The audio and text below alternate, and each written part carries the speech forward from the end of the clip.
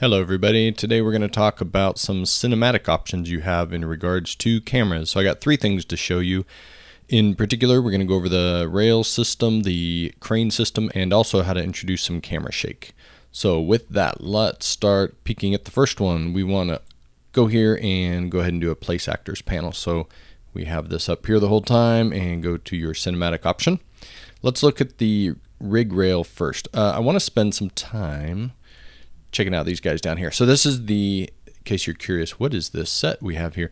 This is the free Assetville package, Assetville town that you can get from the marketplace. It's just kind of fun, silly little low poly town that has tons of things you can look at and play around with. So I'd recommend grabbing it. It's just a nice little handy set to have for educational purposes for sure.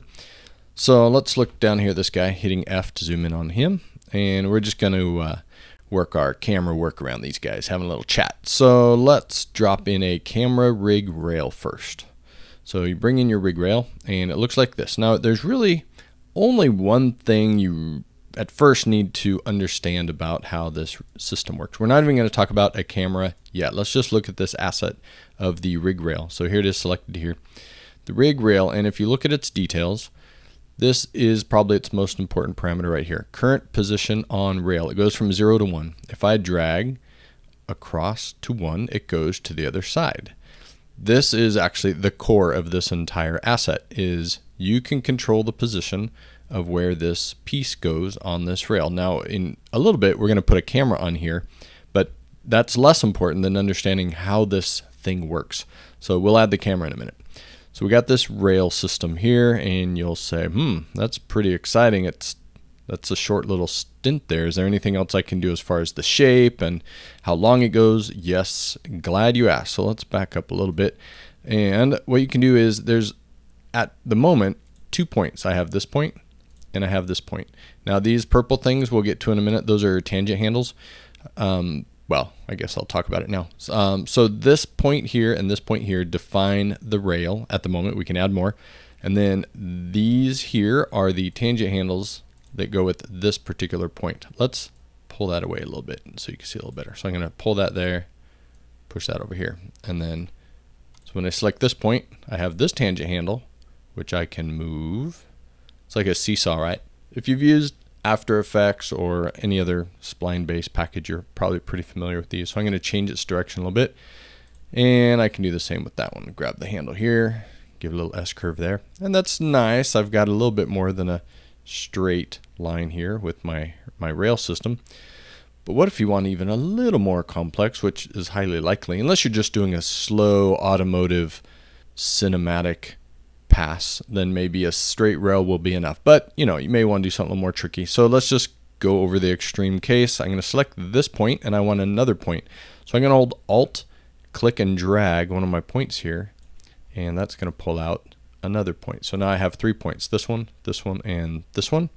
And all of those have their own tangent handle. So I can make a little sharp turn here, select this point, move it if I want. You probably don't want to, I just lifted it up. You probably, I mean, if you want to go for it, you know, you can lift it up and have it follow a track, but it's a little weird in this case. So I'm going to move it over here. All right, so now I've made a little bit more complex of a track here. And you can make as many of these points as you want. If you want to get rid of one, just select it and delete it. So it's pretty straightforward there. So that's kind of the base of designing a rail and understanding that you want it on this end, it's zero. You want it on this end, it's one. So then, now let's talk about adding a camera to that. You want to use the camera here in the Place Actors tab. You don't want to use a spawned camera, which you can do. I'll, when I have a sequence in a minute, I'll show you that option. It breaks the parenting right now in 503 if you do that. So I don't know if that's a feature or a bug. So for this to work, you're going to want to grab the Cinecamera actor from your Place Actors panel. Again, not a spawned camera. So I'm going to drop this in my scene, and I'll just leave it here for a second. And I want this camera to follow and sit on this plate. So the way you do that is you just parent this camera onto this plate, or you onto the rail. You can do that two ways. If you see them handy enough in the outliner, you can drag and drop the camera onto the camera rig rail. So let's see if I can visually see enough space here. Where's my rig rail? C-A-M. Oh, it's way up here. So it's kind of inconvenient, right? The As much as I like Assetville visually, it's just a big jumble of stuff in the outliner here, and I don't really want to go clean it up or anything. So I'll say I'll show you the other way. If if it was if you could see the rail and the camera, now I could use search and narrow it down, but if you just well here, let me show you that while I talk about it. So if I just filter out stuff with the word camera in it, that is one way around this, I suppose. Right, so here's my camera actor, here's my rig rails. So if I drag the camera onto rig rails, that makes it now a child of rig rail.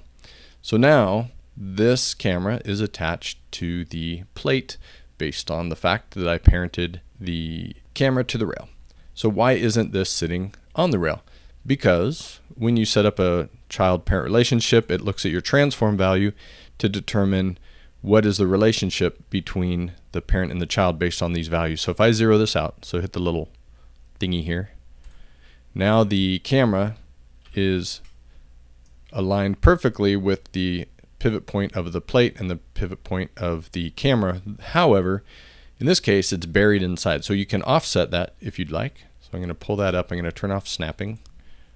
And I'm going to pull that up a little bit. So I mean, if you want, you can align the camera body to be sitting on this plate. You, you can really do whatever you want. But for me right now, this is where I'm tip of my lens is and my control. So I'm going to have that be the reference on the plate here. And if you need, if, I, if I'm looking over here at these guys, perhaps I want to pull it up just a little bit more and then maybe I want to rotate, hit E, rotate a little bit. I can see my little preview going on over here. Uh, turn off snapping there as well. And again, if I want, I can. Ooh, nice little twist there of the camera. Um, but I'm going to eventually show you how the look at tracking works. But before I get to that, let's back up a little bit. Hold on, going a little too fast. Select the plate, back to the camera rail, right? So now watch the camera slide across the rail, and it's stuck to it now because we set up that parent. So you'll notice the camera is not turning as the plate goes around the track that is an option if you'd like. If you want it to be locked to the plate so that as the plate turns the corner, the camera goes with it, you just need to check this box here, lock orientation to rail.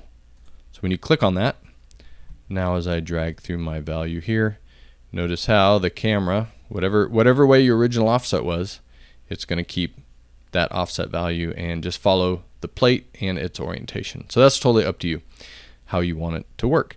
Now back to the idea of what if I want to just look at these guys the whole time and how, as it's going down. What what wins? Does the lock orientation to rail win or does the local camera look at tracking win? Well, I'll give you a tip ahead of time. It is the look at tracking, but let's set it up so you, in case you haven't seen that before.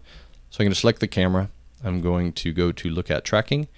I'm going to pick an actor that I want to track. I'll pick the dude with the suspenders and he is pose standing 26 and I want to turn on look at tracking.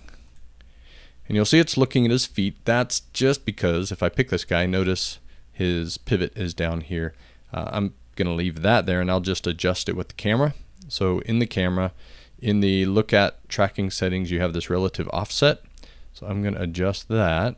I'm just dragging here dragging a little bit more. Say I want it looking up from the ground. So it's like a uh, squirrel's point of view, I guess, in this shot. Now, because I've enabled look at tracking, I've set my offset. He's the target of my track. Now when I go back to this rail and I animate it, it's going to be looking at him the whole time. Look how cinematic this is getting. That is looking great. I'm not a DP. I'm just showing you how the tool works. So now in, uh, let's show how to do this in sequencer. It's really just a matter of keyframing this value. So let's do that. Let's, I'll be official here and make a new folder. Call it cinematic. You've probably gotten here after seeing other videos so you know how to use sequencer and all that. If not, I have uh, other videos you can watch for that. Right click, animation, level sequence. And I'll uh, let's call this cam stuff. Double click to open it into the sequencer. Now, what we're animating here, we're not animating the camera, we're animating the rail. So you want to have the rail selected, add a track, actor to sequence, rig rail. And notice, and a lot of other times when you add things in here, you'll see that there's some defaults here. And with the camera rig rail, we don't get any defaults. So how do we add that we want to key this value here, current position on rail? You could either click on the plus and say, here it is, camera position on rail. And that'll open up a track here so that you can set keys on that. Or let me delete that and go back here instead. Another way to do it is over here, if you see this little key with a plus, a little diamond, that means it is a parameter that you can also keyframe. So if I click on that, it opens up the track and it also puts your first key there. And if you turn on auto key, then the next time you set a key there, um, it, it, or set a value, it's going to auto key there. So let's say this is a really slow, long default 150 frame shot and changing the current position on rail to one. You could either change it here or over in the details. All right, so now I go back to the beginning. I hit play and that value is animating from zero to one over that whole timeline. Now you don't have to be that linear if you don't want to. You could, you know, this is probably going to make you nauseous, but I could go to frame 30, set the value to 1, go to 60, set it back to 0. You know, I, I think y'all understand how animation works. So this is, uh, right, so now if I pop back here and hit play, get ready. It's going to be a little, little whack. But it shows you that you can, you can even make it, uh, well, one thing that might be useful, say you set all this up and you think, oh, I wish the track actually went the other way. Well, you, you can do that. Let me delete all these keys. Go back to the first frame and set the first frame to a value of 1, which puts the slider at the other end of the track. Set a key there. And go to the other end and set it to 0. Right, so now it's now it's going the opposite way just because you're going from position 1 to position 0. So that's pretty much all you need to know about how to work with the camera rail. Again, you have all these points. Make more by holding Alt and dragging out. And you know what? For me personally, this thing really gets in the way. The It's fine for the demo because it shows you what the camera sees. But I'll show you at the end if I remember how to turn this off. Actually, you know what? I'm going to show you now. If you don't want this camera preview there, which generally I don't, you can go to hmm, this one, this one, this one, this one. This is one of those, I always forget which one it's in here because I usually am not in here often. I usually turn it off forever. So let's try project settings. Basically, you're looking for a parameter called camera preview and it's not here. It's in the editor preferences. So go over to editor preferences and type camera preview. And if you don't want it on, turn this off. If you want to make it smaller or bigger, you can leave it on, but then adjust the value here. So I'll leave it on for now just because it's kind of helping us see what we're looking at. But generally I would use a, uh, you know, I'd go up here to, sorry, I'd go to layouts and I'd do two panes side by side and then make one my camera, one my perspective view. But I only have one screen right now to show you this stuff. So we'll get by with what we have. Anyway, I think we're good with the rig rail. Let's now talk about the crane and how to set up for that. So I'm going to drag a crane into the scene. It it by default is huge, which is fine. You know, pretend you're on this big budget set, right? So let's look at the controls we have for the crane. With the crane selected, we're going to go over here and it's not that much different than the rail. In a way, it's a little easier because you're not having to shape a track or anything. You have three main parameters you're looking at. You have this pitch, which is the up and down motion of that arm. So I'm adjusting the pitch by left click dragging through there. And th these are all, notice, they're all keyable, so we can do that in sequencer later. I'm just showing you now how it works.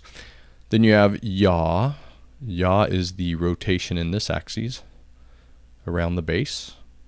And then crane arm length, you can probably figure out what that means. That means the length of the crane arm. And that is also a keyable value. So the other two things to look at are these two items, the lock mount pitch and lock mount yaw. So let's bring in a camera and set this up to see how those are affected. So I'm going to bring in a, a different camera here. So I'll send a camera actor, I'll drag it nearby, close enough for the moment. because just like the other case, I need to uh, make this, I need to make the crane a parent of the camera. I'll show you now the other way that you can do this. If you right click on your camera, you can go to attach to and you can look for your crane. And here it is here. And if I select the crane, that shows me now here's the crane and this camera just got childed to the crane. So I'm going to select the camera. Notice again the discussion we had about why the camera didn't snap to it right away. It's because it's based on your transform. So I'm going to hit the 000 button and it's going to go right to the base of that crane. And in this case, that actually might be kind of cool. That just kind of hanging down there. But again, you can offset that however you want, right? If I come here and I want to Z, uh, you know, put a little closer to the tip, whatever you want to do, as long as you know here how to do it. So let's talk about the other two checkboxes on the crane, what those are good for.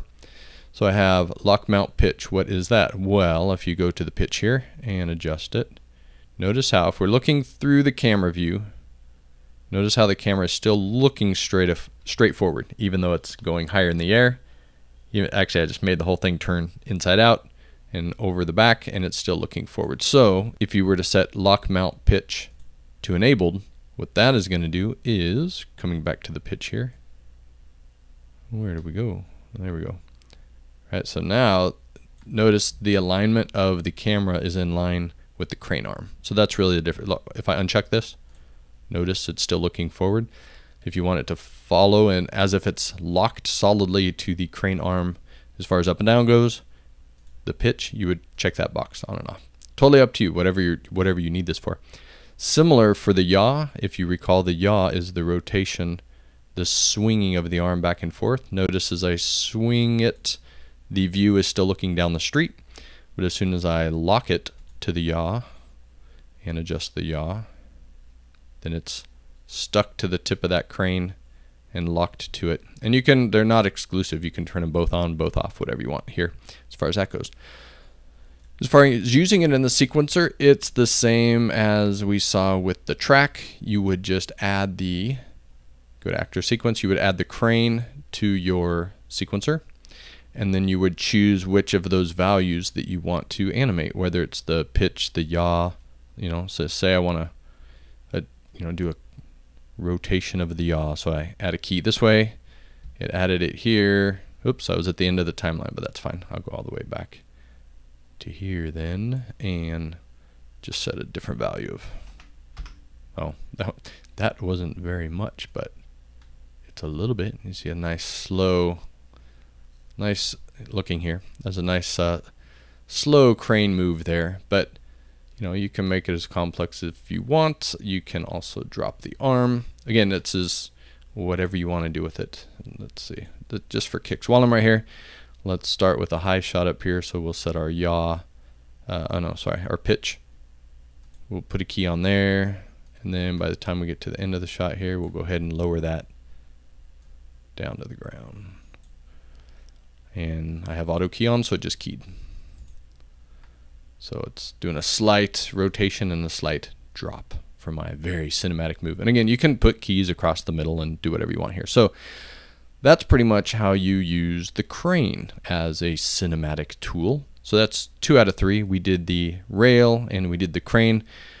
The camera shake is a little bit different. So these are just animating objects that you're creating a child-parent relationship. Oh, you know what I forgot to mention was, remember I said uh, the warning against don't use a spawn camera, meaning don't create your camera here, right, and create a camera and then parent it to a rig rail or rig crane because when you leave this sequence, it breaks the child relationship. So this will no longer be parented to this or childed, parented. This will no longer be its parent if you leave the sequence and then come back to it later. So it, it breaks. Probably because the camera doesn't really exist outside of the sequence and it doesn't remember that relationship. So moral of the story, use this camera when you're using a rig rail or rig crane. So item number three, camera shake. Let's go to the content browser. And for here, we need to make a blueprint. Don't be scared. Blueprints are can be scary, but this is an easy one. So I'm going to go to cinematics. I'm going to right click in here, go to blueprint class, And down here, I'm going to do a search for shake. And you want this one here, camera shake base. So select a camera shake base and choose that. You can name it cam shake is what I was trying to name before autosave kicked in. Cam shake. And I'm going to double click it to open up the blueprint.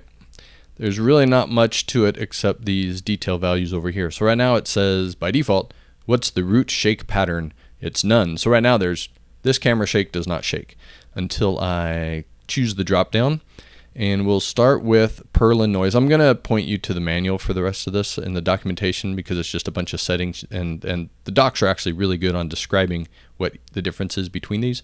But I'll give you an actual demo here. So let's grab Perlin noise and it's going to give you a whole bunch of parameters that you can mess with. So we'll, we'll mess with them in a minute. But for now, let's just compile and save our camera shake blueprint.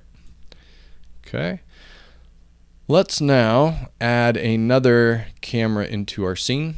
So I'm gonna uh, grab another one here and pull it up here. Let's look at these guys. All right, so here's camera preview of our two guys. And let's go uh, to our sequencer. And I'm gonna ditch these cameras that we already have here because just go kind of clean here, camera cuts and all. And back to the camera I just made, I'm going to add a track for our new camera.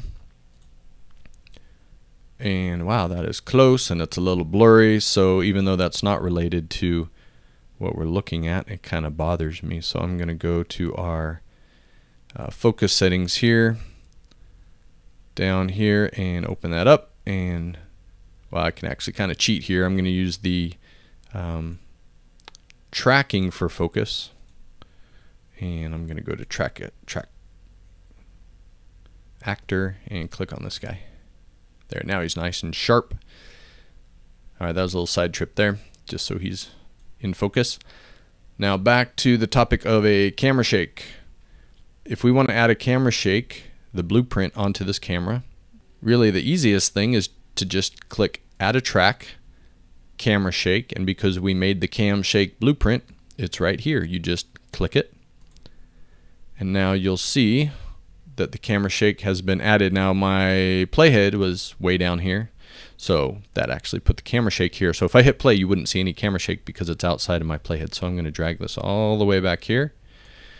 And we'll fix this in a minute but notice that it's only for what's that 30 frames? So if I hit play you see a little bit of a camera shake and then it stops. That's because the blueprint only has in it 30 frames of camera shake. So let's go fix that. Let's go back to content browser, open up the camera shake blueprint. And I'm going to go ahead and dock it next to my level here so that I, I'm going to be in here a couple times.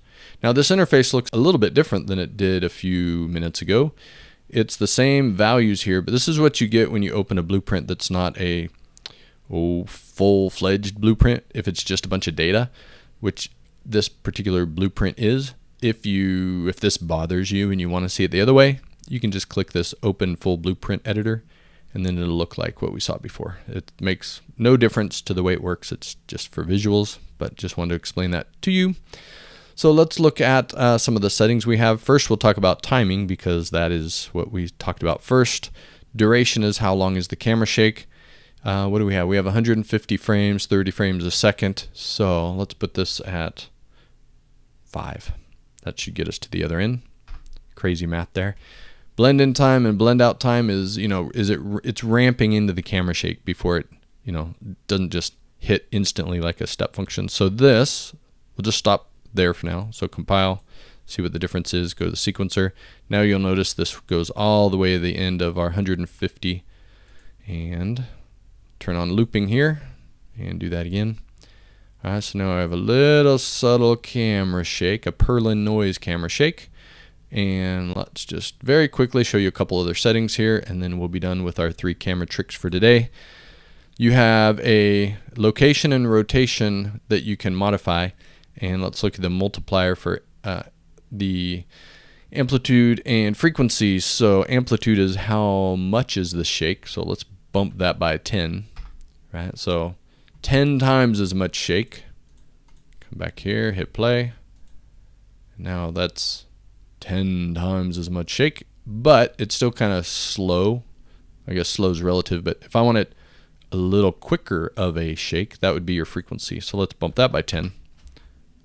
Compile and save, come back here, hit play.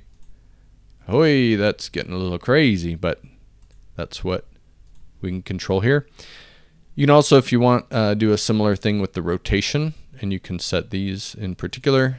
But let's look at this FOV. That's another one that's a little kind of on the wacky side.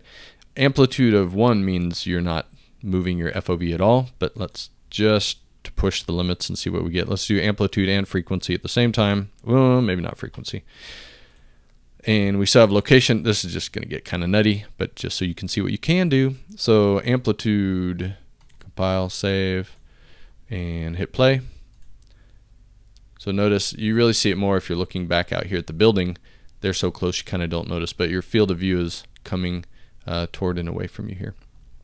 So you have lots of control uh, with camera shake. Now that was just using the Perlin. So let's break away for just a second to the docs so you can see uh, what those look like. So this is, um, I'll put a link in the description.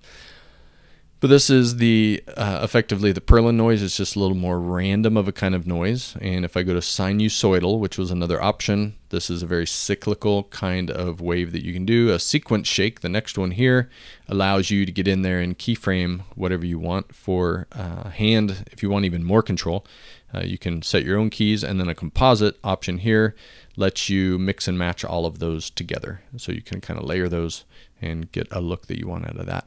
So that is the documents as far as that goes and back out to here. So in quick summary, we covered the crane, the rail, and also added a little bit of shake. Speaking of cinematics and amazing camera work, check out this short live action camera work by my son Dexter. It's amazing. If you have any questions, throw them in the comments. That's it for now. See ya.